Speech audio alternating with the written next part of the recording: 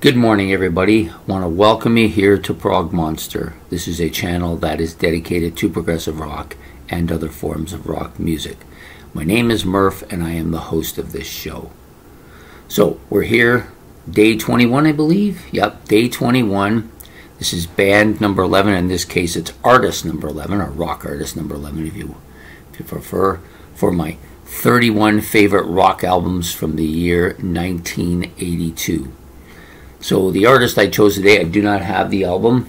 I did have it in vinyl at one time, and uh, played it a lot.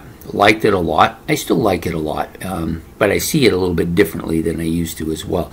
Kind of the same thing that went on with Rush's Signals went on with this album, but not as severely.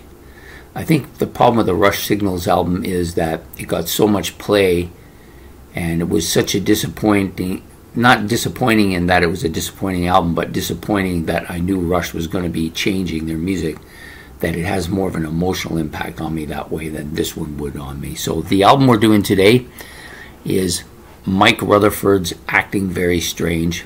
Uh, I believe this is his second, I think this is second uh, solo album. Um, so overall, the album is kind of poppy, but it has its heavy parts. It has its uh, interesting sounds at times as well. And the fact that he actually sang on this album was, uh, to me, the good part. I wish he'd done more albums where he actually did the singing because I, I kind of like his voice. Um, and, you know, to me, the song Acting Very Strange really illustrates to me how good his voice is. He's got that kind of um, raspy feel at times to it, which he's like forcing the song to to come out in uh, kind of a, an emotional way, I think, and that's part of the reason why I like it so much. And he, I wished he'd done more albums like this one. Uh, the other song that I really like on this album is Maxine. This is a much heavier song than most of the songs on the on the album, and really has a bite to it. And part of the part of the reason I like this album so much is that it's got that little bit of that bitey stuff going on. It's not nearly as poppy as some of the Phil Collins stuff that was going on at the time.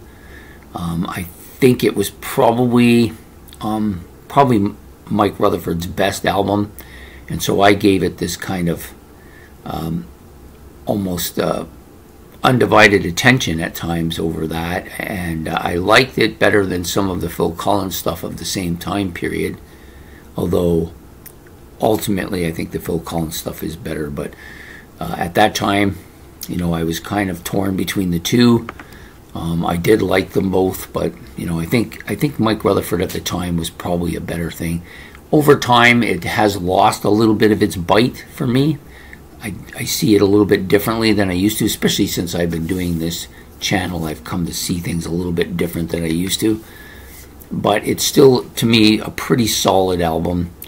And like so many of the albums you're going to see this week, a lot of them are very, this is a very tight thing. So from the first one of the week till the last one of the week, it's going to be very, very close.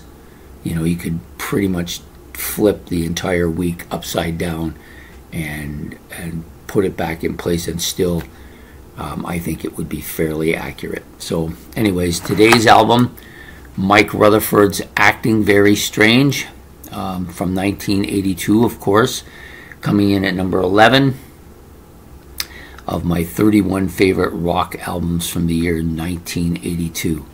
So please hit the like and subscribe button and the notification bell if you wish to be notified of what's coming up. And if you have any comments about um, this album in general or how you feel about um, this compared to maybe the Rush album that went yesterday. Uh, or anything you want to talk about, you can put it in the comment section below and I will uh, answer it if I can.